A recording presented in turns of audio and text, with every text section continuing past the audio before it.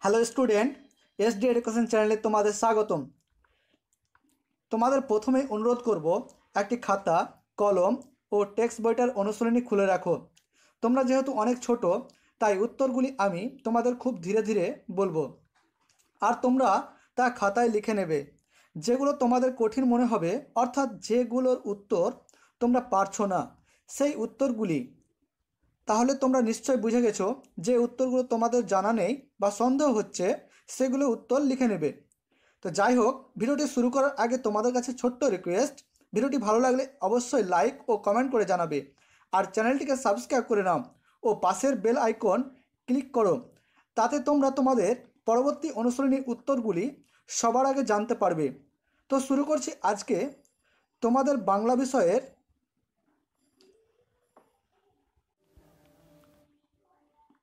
বুনহাস গল্পের যে অনুসরণী, তার প্রশ্ন ও উত্তর নিয়ে আলোচনা করব। তো তোমরা বুনহাস গল্পটিতে চলে যাও ও তার অনুসরণী বের করো।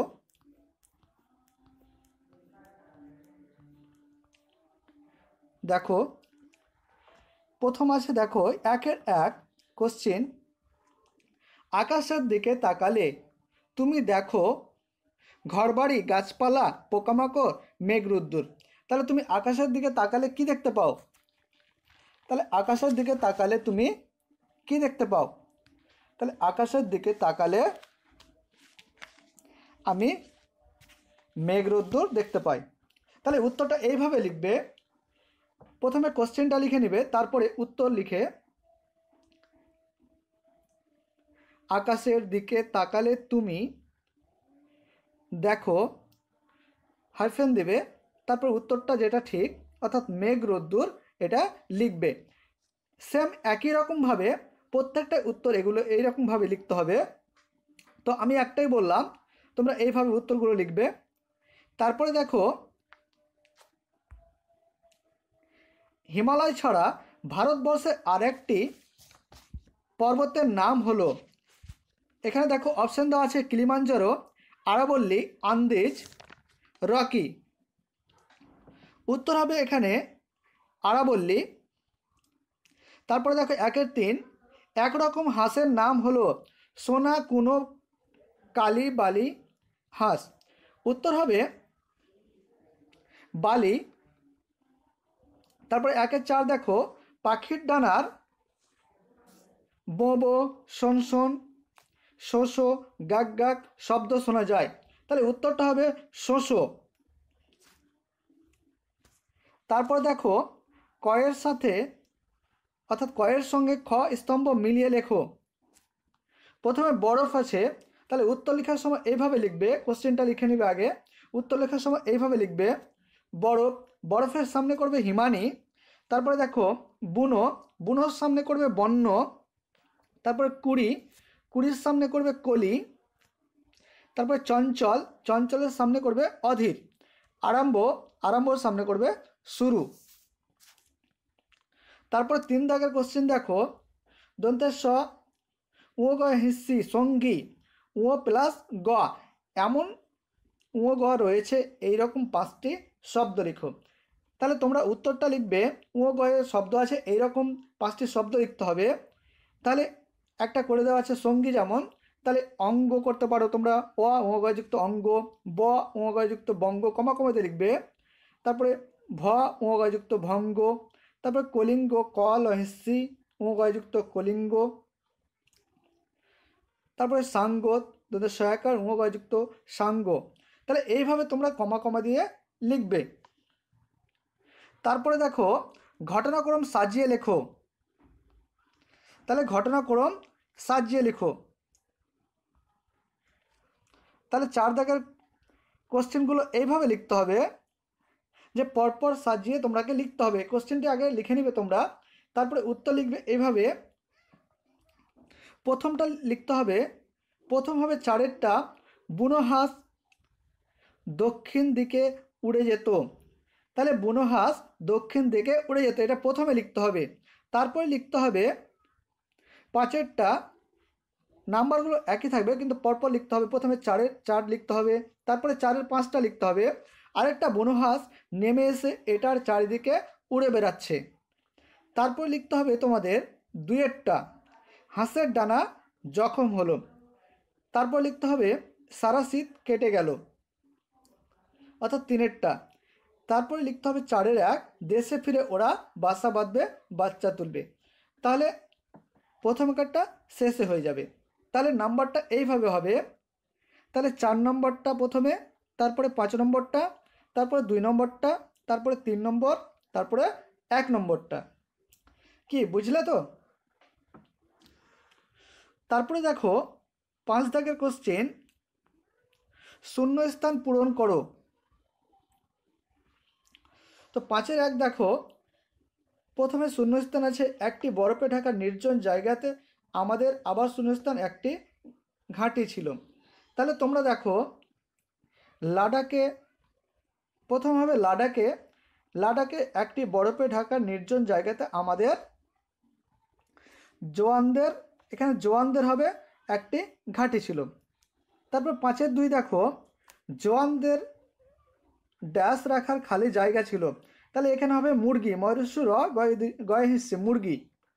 তারপর দেখো, পাঁচের তিন, আস্তে আস্তে হাঁসের ডানা সারলো একা দন্ত নয় একা, ডানা। তো তারপর দেখো, দলে দলে বুনো হাঁস, তাহলে বয়রস্য দন্ত নয় ওকার হয় চন্দ্রবিন্দু আকার দন্তের বুনো হাঁস। তীরের ফলার আকারে কেবলই উত্তর দিকে উড়ে চলেছে। তাহলে এখানে হবে উত্তর। তারপর পাঁচের পাঁচ দেখো। পাঁচের পাঁচ, ন্যাড়া, দন্ত নয়, জফলা আকার, ডয় শূন্য রয় আকার, ন্যাড়া। গাছে পাতার আর ফুলের কুড়ি ধরলো। এখানে কিন্তু চন্দ্রবিন্দু হবে কুড়ি বানানে। কয় চন্দ্রবিন্দু? রস্যু ডয়বিন্দু রয়ে হিসি, কুড়ি। তারপরে দেখো ছয় দাগের ছয় দাগের বলেছে শব্দ চুরি থেকে বিশেষ্য ও বিশেষণ আলাদা করে লিখো।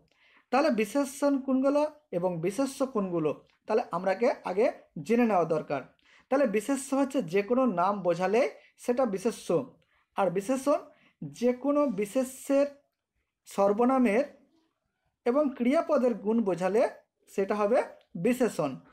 তাহলে দেখে নাও, বিশেষ্যের ঘরে বসবে, জখম বসবে লাডাখ বরফ, তাবু, সঙ্গী বেচারি।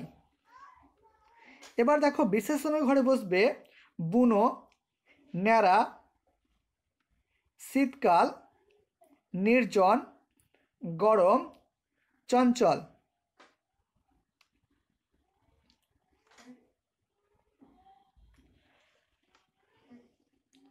সরি একটু মিস্টেক হয়েছে। বিশেষের ঘরে শীতকালটা বসবে। বিশেষণের ঘরে কিন্তু শীতকালটা বসবে না। যাই হোক, একটু মিস্টেক হয়েছিল।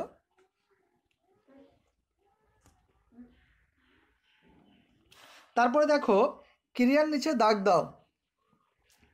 তাহলে ক্রিয়া কি? তাহলে আগে আমরা জেনে নেব। তাহলে যে কোনো কাজকে, অর্থাৎ কাজ বোঝালে তা ক্রিয়া। তাহলে কোন শব্দের মধ্যে কাজ আছে সেটা আমরা দেখব। এখানে দেখো সাতের এক, বাড়ির জন্য ওদের মন কেমন করতো? তাহলে করতোটা এখানে ক্রিয়া। তারপরে দেখো পাখিরা পাখিরা আবার আসতে আরম্ভ করল। তাহলে এখানে করলোটা কিন্তু কাজ। তারপরে দেখো দেশে ফিরে ওরা বাসা বাঁধবে। তাহলে বাঁধবেটা এখানে কাজ। তাহলে এগুলোর নিচে দাগ দিতে হবে। অর্থাৎ তলায় দাগ দিতে হবে। তাহলে প্রথম কার্ডটা দিতে হবে কর্ততে তলায় দাগ তারপর এটা করল তারপর এটা বাঁধবে, তারপর সাতের চার দেখো, সেখানে বনহাঁসরা রইল। তাহলে এখানে রইলতে দাগ হবে। তারপরে দেখো, নিরাপদে তাদের শীত কাটে। তাহলে তার, এখানে দেখো, কাটেতে দাগ দিতে হবে। তারপরে দেখো, বাক্য বাড়াও। দেখো কোশ্চেন আছে আটের এক। একদিন একটা বনহাঁস দল ছেড়ে নেমে পড়ল। কোথায় নেমে পড়ল? তাহলে উত্তরটা এইভাবে লিখতে হবে। একদিন একটা বনহাঁস দল ছেড়ে নিচে ঝোপের ওপর নেমে পড়ল। তাহলে একদিন একটা বুনো হাঁস দল ছেড়ে নিচে ঝোপের ওপর নেমে পড়ল। তারপরে দেখো আটের দুই। ওরা গরম দেশে শীত কাটিয়ে আবার ফিরে যাচ্ছে। কোথায় এবং কখন ফিরে যাচ্ছে? তাহলে দেখো, ওরা গরম দেশে শীত কাটিয়ে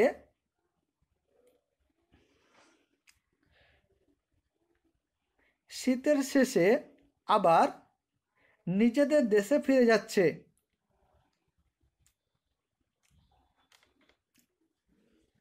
আবার বলছি, ওরা গরম দেশে শীত কাটিয়ে শীতের শেষে আবার নিজেদের দেশে ফিরে যাচ্ছে। তারপর আটের তিন দেখো, পাহাড়ের বরফ গলতে শুরু করল। কোথাকার পাহাড়ের বরফ গলতে শুরু করল?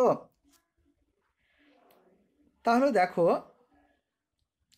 এখানে উত্তর লেখো, লাদাখের পাহাড়ের বরফ গলতে শুরু করল। বা এটাও তোমরা লিখতে পারো নিচের পাহাড়ের বরফ গলতে শুরু করল। তাহলে দুটোর মধ্যে উত্তর কিন্তু দুটোই হবে। দুটোর মধ্যে তোমরা যে কোনো একটা লিখে নিতে পারো। তাহলে লাদাখের পাহাড়ের বরফ গলতে শুরু করল বা নিচের পাহাড়ের বরফ গলতে শুরু করল। তারপরে দেখো আবার ঝোপঝাপ দেখা গেল। কেমন ঝোপঝাপ? তাহলে কেমন ঝোপঝাপ? দেখো। তাহলে উত্তরটা হবে, আবার সবুজ ঝোপঝাপ দেখা গেল। তাহলে আবার সবুজ ঝোপঝাপ দেখা গেল। তারপর দেখো আটের পাঁচ, গাছে পাতার আর ফুলের কুড়ি ধরল। কেমন গাছে? উত্তরটা লিখো, ন্যাড়া গাছে পাতার আর ফুলের কুড়ি ধরলো। তাহলে ন্যাড়া বানানটা এইভাবে লিখবে দন্ত নয় ফুলা আকার ডয়শূন্য রয়া আকার, ন্যাড়া। তাহলে ন্যাড়া গাছে পাতার আর ফুলের কুড়ি ধরলো। তারপরে দেখো বাক্য রচনা করো। যে যেমন করে পারবে লিখবে বাক্য রচনা। তোমরা এক একটা করে বাক্য লিখবে, সম্পূর্ণ বাক্য। যেমন রেডিও দেওয়া আছে। তুমি লিখতে পারো রেডিও রেডিওতে খবর দেই। ছোট ছোট বাক্যগুলো তোমরা লিখবে এবং সহজ সরল শব্দগুলো লিখবে, তাহলে তোমাদের ভুল কম হবে। তাহলে সবসময় ছোট ছোট বাক্য এবং সহজ সরল শব্দ দিয়ে বাক্য তৈরি করবে। তাহলে তোমাদের বাক্য লিখতে সুবিধা হবে এবং ভুলভাল কম হবে। তাহলে রেডিও, রেডিওতে খবর দেই। চিঠিপত্র, আগের দিনে চিঠিপত্র লেখালেখি করতো। তাহলে প্রথমে রেডিওতে খবর দেয়, তারপর চিঠিপত্র আগের দিনে লেখালেখি করতো বা আমার দাদু চিঠি লিখে বা চিঠিপত্র লিখে। থরথর, তাহলে বুড়ো মানুষ থরথর করে কাঁপে। জোয়ান, তাহলে জোয়ানরা দেশকে রক্ষা করে। তাবু। তাবুতে জওয়ানরা থাকে। এইভাবে তোমরা বাক্যগুলোকে কমপ্লিট করো। তারপরে দেখো, তোমার বইতে যে বুনোহাসের ছবি দেওয়া আছে, সেটি দেখে আঁকো ও রং করো। তাহলে এটা তোমাকে নিজের খাতায় নিজে নিজে একটা বুনোহাসের যেভাবে পারবে তোমরা, যতটা পারবে রং করে তোমরা আঁকার চেষ্টা করবে। এটা অতটা গুরুত্বপূর্ণ নয় দশেরটা, তবুও তোমরা বাড়িতে চেষ্টা করবে। এখন যেহেতু বসেই আছো, তাহলে তোমরা বাড়িতে চেষ্টা করবে।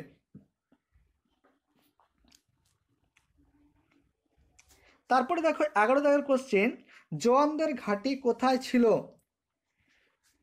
তাহলে উত্তরটা লিখো। জওয়ানদের ঘাঁটি লাদাখের এক বরফে ঢাকা নির্জন পাহাড়ে ছিল। তাহলে জওয়ানদের ঘাঁটি লাদাখে এক বরফে ঢাকা নির্জন পাহাড়ে ছিল। তারপরে দেখো, জওয়ানরা কি কাজ করত? তাহলে জওয়ানরা দেশকে রক্ষা করত। তাহলে জওয়ানরা দেশকে রক্ষা করত ও শান্তি শৃঙ্খলা বজায় রাখত।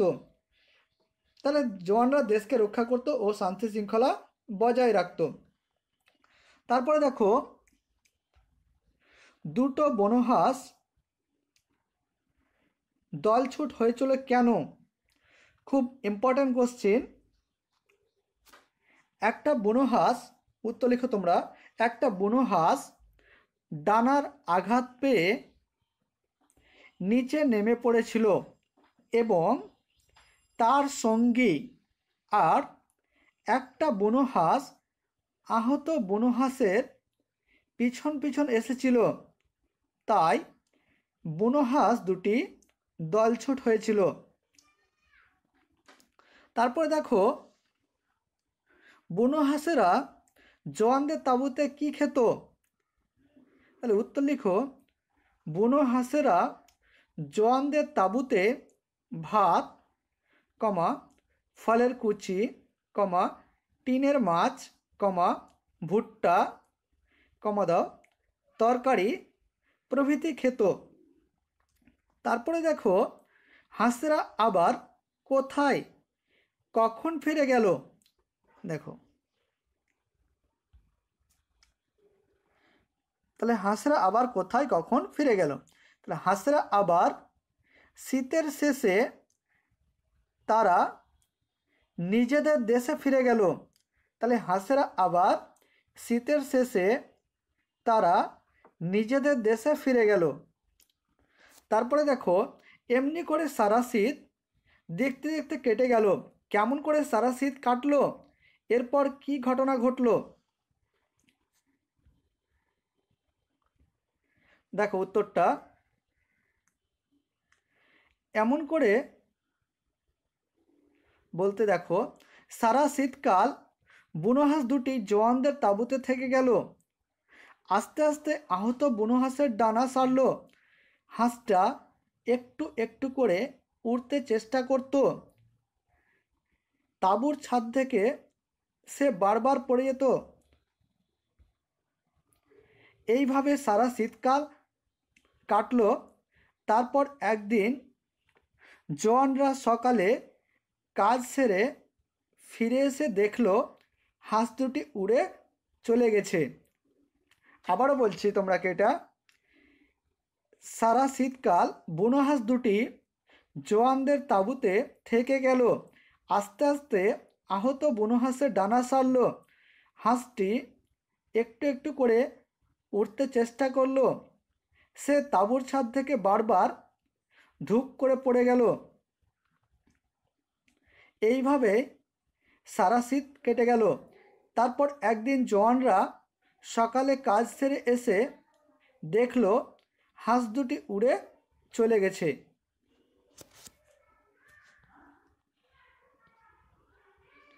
তারপরে দেখো তেরোর এক, লীলা মজুমদারের জন্ম কোন শহরে? তাহলে লীলা মজুমদারের জন্ম কোন শহরে? এখানে দেখো, দেওয়া আছে দেখো যে জন্ম কলকাতায়, তাহলে লীলা মজুমদারের জন্ম কলকাতা শহরে।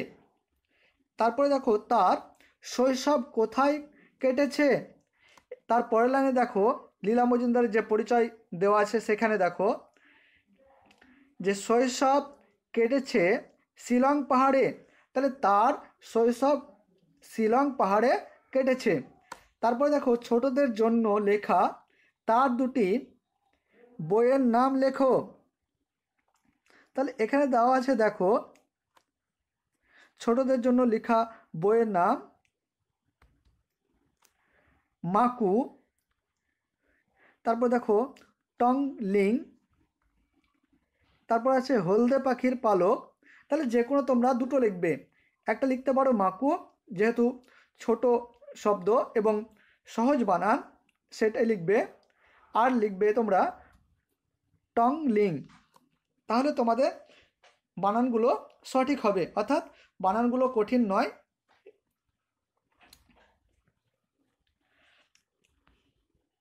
এরপর তোমাদের যেটা অনুশ্রেণী আমি ধরবো, আমি পরপর তোমাদের অনুশ্রেণী পাঠগুলো উত্তর আমি বলে দেব।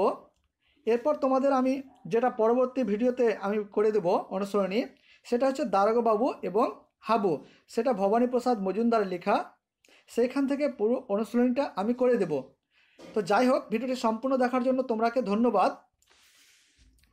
তো আবারও বলছি, তোমাদের প্রিয় চ্যানেলটিকে সাবস্ক্রাইব করে রাখো।